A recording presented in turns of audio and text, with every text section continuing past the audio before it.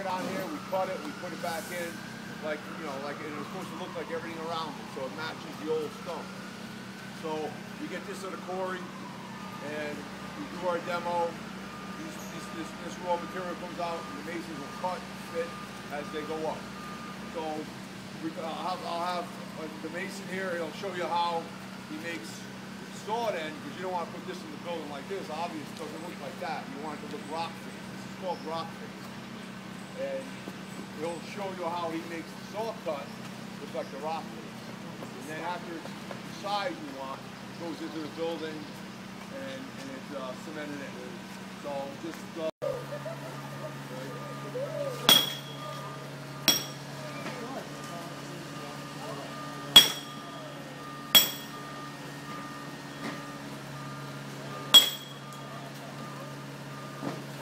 after that, you still have some the smooth left, and you'll, you'll use a different chisel.